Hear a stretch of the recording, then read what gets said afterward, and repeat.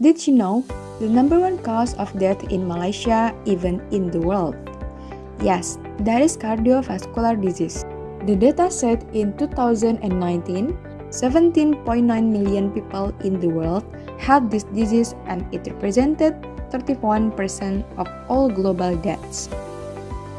Cardiovascular disease or CVD itself is a general term given for conditions affecting the heart or blood vessels. For instance, coronary heart disease, cerebrovascular disease, peripheral arterial disease, and rheumatic heart disease. One of the common medical devices to detect this disease earlier is electrocardiogram or ECG. The function of this medical device is used to read heart electrical activity and the result can show the heart's condition and diagnose disease when there is an abnormal condition. So, the current solution for examining the heartbeat is using electrocardiogram. It works by placing electrodes at certain spots on the chest, arms, and legs. The electrodes are connected to an ECG machine by lead wires. The electrical activity of the heart is then measured, interpreted, and printed out. No electricity is sent into the body.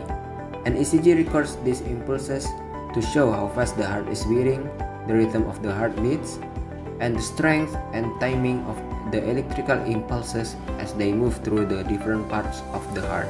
Facing the challenges of existing ECG delineation algorithm, first, existing ECG do not provide the inbuilt algorithm detection, mostly cannot provide full ECG notation, especially onset and offset of P wave and T wave due to similar characteristics. And most of the algorithm is still modeled and simulated at high level rather than executable solution. Presenting system-on-chip design and implementation of ECG delineation algorithm. This is the simulation when communicate with FPGA with PC by using PARI to execute the solution.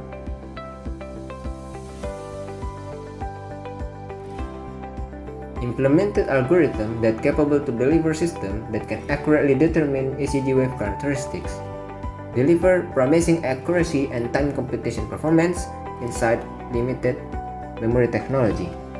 These are shown P peak, Q, R, S, and T peak, P onset and P offset, T onset and T offset, and for the result of performance evaluation, we achieve average accuracy that above 90% and for the computations time of 10 seconds resting ECG for real-time analysis is equal 105 times 10 divided by 15 minutes times 60 it's equal 1.16 seconds which is suitable for further development on real-time analysis.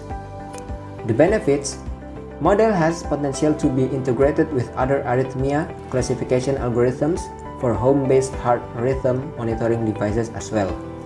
Proposed project may help non-specialist medical staff to improve their work efficiency and effectiveness while performing the heart screening of patients.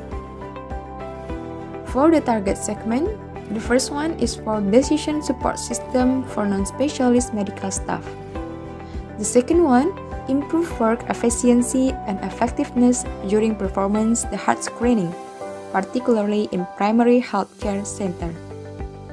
This ECG also has potential to be integrated with other arrhythmia classification algorithms for home-based heart rhythm monitoring device. That's all. Thank you for your kind attention.